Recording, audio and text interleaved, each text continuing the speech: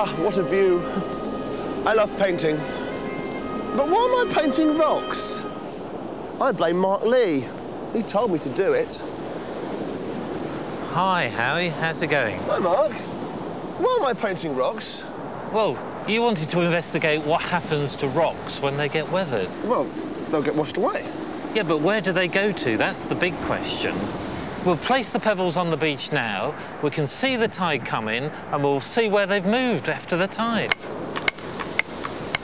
We lined up the painted stones between two posts.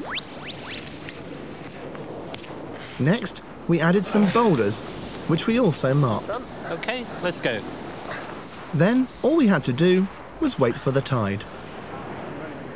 All along the beach, there's evidence of erosion.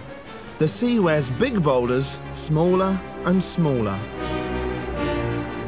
The boulders themselves are made of mud, sand and pebbles. The mud and sand are washed away by the sea, releasing stones. The tide waits for no one, and the sea soon set to work to move sand and stones.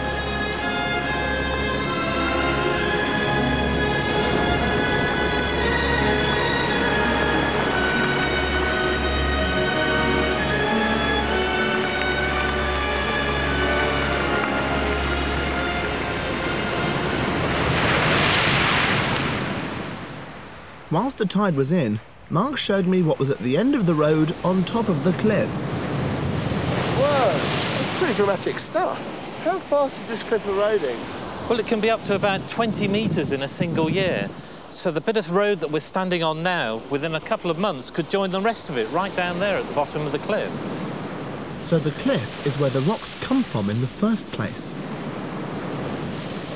Five hours later, the tide had gone out. Right, this is where we set the stones up. And there's only two left, and even they've moved, what, half a metre? I wonder where the others are. Who's going to go and look for them? Hmm. Mark, I've got one! It's travelled 50 metres!